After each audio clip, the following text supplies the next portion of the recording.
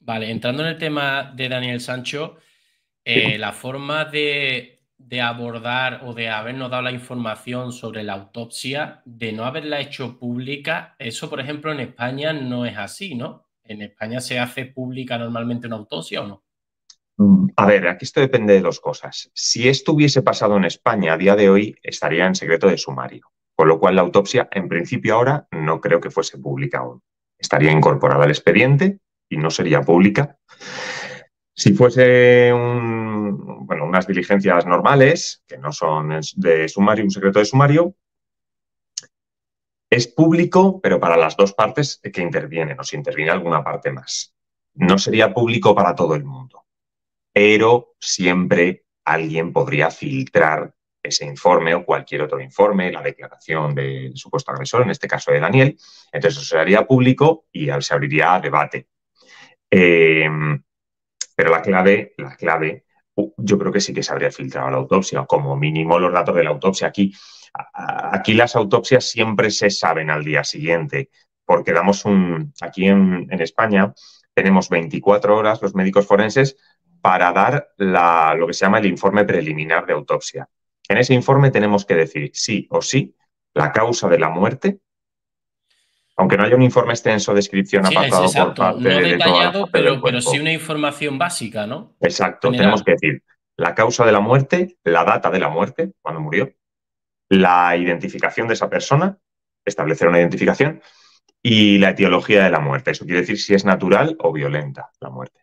Vale, con respecto, ahora que saco el tema, el tema de la data de la muerte, estaban hablando en Código 10, este programa de, la 4, estaban hablando de que a las 15 y 38 el teléfono, el día 2 de agosto, es cuando tiene la última conexión Edwin Arrieta y a las 15 y 37 es cuando iban en la moto. Hay 50 metros al hotel y se conoce que en esos 50 metros, el tiempo de llegar, pues él cogería el móvil mientras que entran en el hotel y sucedería lo que sucedería. Claro, y decía uno de los expertos que quizás la data estuviera muy próxima a las 15 y 38 en adelante, los próximos minutos, el tiempo que Daniel Sancho presuntamente pues terminará con la vida de Edwin, ¿no? Totalmente. más o menos sería así. Sí, además nosotros nos ayudamos de tres cosas para la data de la muerte, tres de las cuales te diría que ninguna de las tres está presente, con lo cual utilizamos otra. Está la temperatura, el cambio de temperatura en el cadáver, aquí como el cadáver está en un vertedero y en el agua no se puede valorar. Eh, está la rigidez, el rigor mortis al estar eh, descuartizado no va a haber, no hay, articulaciones para comprobar el rigor mortis. Y luego el livor mortis, las livideces, que es las manchas que quedan en la parte más baja del cadáver, las partes declives que llamamos nosotros. Como esto no lo tenemos, se busca por otro sitio que sí que se tiene. Mucha información se va a obtener de, de los ojos de Edwin Arrieta. No va a ser, obviamente, imágenes, pero lo que sí que va a haber es una prueba que se llama la prueba del potasio. El potasio, el, potasio es esto que hay en los plátanos, que nos dicen que tanto que tenemos que comernos y que va muy bien para la salud y que los niveles de potasio hay que mantenerlos en sangre. Bueno, pues el potasio dentro del ojo, del líquido del ojo, digamos que está en una forma mantenida para todos nosotros. Pero cuando te mueres, empieza a descomponerse poco a poco ese potasio.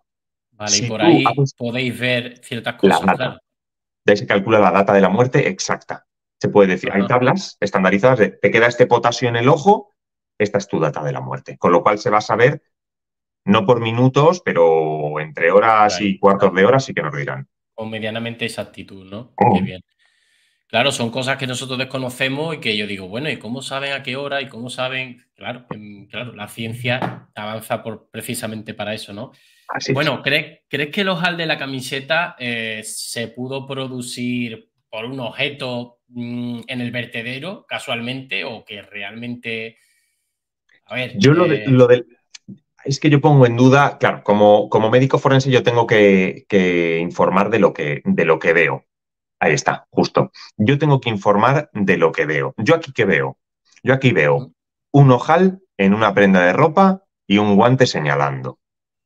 Se presupone que esta prenda de ropa la han sacado del, vertedero.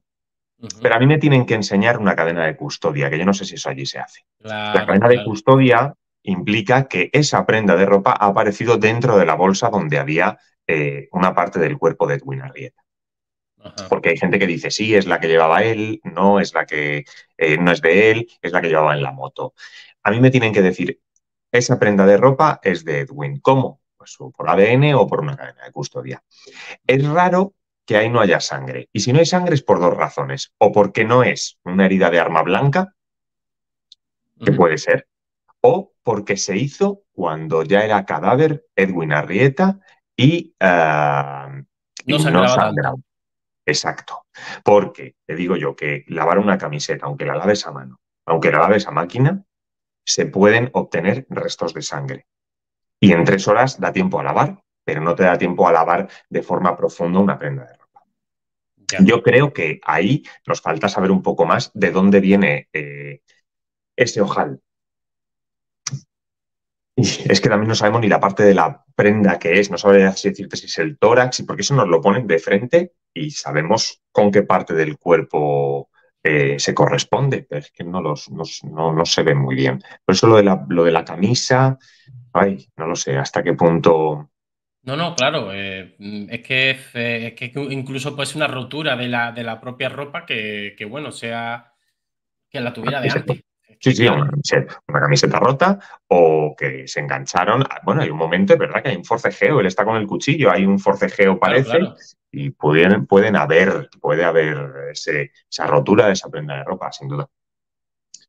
Bueno, eh, sin encontrar el torso, entiendo que esto no puede ser utilizado en su contra. Es decir, eh, no lo pueden acusar de haberlo apuñalado si no hay mm, solamente indicio, pero no hay pruebas, ¿no? Exacto. Se hablaba, se hablaba de, como se sabe los, lo, que compró Daniel Sancho, se tiene el ticket y se sabe qué tipo de cuchillo había comprado, se dijo de hacer algún tipo de, mm, como, el, como los pruebas de balística, comparar dos balas si han salido de la misma pistola o no. Pues lo mismo, intentar hacer algo parecido con el ojal y el, el tipo de cuchillo que había comprado, si sería compatible con ese ojal. Lo que pasa es que tú tienes que ver a microscopio las fibras de esa camiseta si se han roto por un arma blanca o por un desgarro, que eso, eso sí que se podría hacer a nivel criminalístico. Em, pero si no aparece el torso, claro, si no aparece el torso, lo que tienen que trabajar es con la información que le ha dado el forense. No pueden, tú no puedes inventarte a nivel judicial una hipótesis que luego no puedes contrastar, porque no, una de las partes se va a sentir agraviada si tú no tienes algo que socialmente es un fastidio porque no apareció el cuerpo y la gente se va a poner muy en contra y porque no aparece el tórax y lo han escondido a posta y podría haberlo matado eh, con alevosía y darle una puñalada, todo eso lo entiendo, pero es que si no está, podría tampoco no serlo. Y en la defensa siempre se dice, los jueces siempre usan un latinajo, una palabra en latín, así muy chunga, que dicen que ante la duda, en favor del reo, y esto es así, eh, dicen indubio pro reo, porque prefieren tener a un inocente, eh, a, un, culpable fuera que a un inocente en prisión. Sí, eso lo explicaste el último día y entiendo que debe de ser así. Es que ante la duda, meter a un inocente en la cárcel, pues no debe de ser. Bueno, preguntaban aquí en el chat que que bueno, ¿qué más da si ha asesinado y no sé qué? A ver, estoy haciendo estas preguntas porque, claro, que esto puede ser un añadido más a la hora de tomar una determinación el juez y decir, bueno, es lo mismo cadena perpetua que pena de muerte, que aquí no estamos hablando de cualquier cosa. Claro, claro, claro que es importante, es muy importante. Que se pongan ellos, mira, la gente, yo lo entiendo, ¿eh? y entiendo la queja y la ira de la gente, pero vamos a poner un supuesto.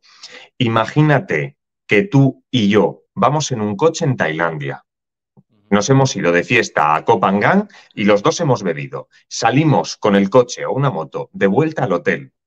Cualquiera de los dos conduce, me da igual. Se nos cruza una persona, la persona no mira a los lados. Si tú y yo hemos consumido alcohol, la atropellamos y la matamos. Eso en España es un homicidio imprudente y no te vas a ir a prisión eh, más de cuatro años. Yo sé que eso ahora es un drama y explota, pero es así. En Tailandia lo mismo, puede ser incluso mayor la pena, no te diré que no. La cuestión es, si quien dice si es un homicidio imprudente o un asesinato, imagínate que te dicen de cuatro años a cadena perpetua en prisión. Esto hay que sentirlo dentro. Yo lo entiendo, pero luego cuando te pones en el sitio, tú no querías matar a una persona, tú solo te ibas a Tailandia a pasártelo bien, pero nunca bebiste por la noche y nunca condujiste, cogiste un coche. Lo haces en Tailandia y te llevas a la vida de una persona. ¿Cuál es el pago por ese homicidio imprudente, porque no es un asesinato. Entonces, yo siempre lo, lo, cojo todo muy entrecomillado. Yo sé que el tema de sacar las antorchas, eso es de, de, hace 500 años de las quemas de brujas. A día de hoy tenemos la justicia y precisamente toda esta investigación se hace para saber si Daniel Sancho lo hizo y lo hizo todo, que cargue con, toda la, con todo, todo el poder de la ley. Eso no hay duda. Pero hay que saber lo que hizo y lo que no hizo.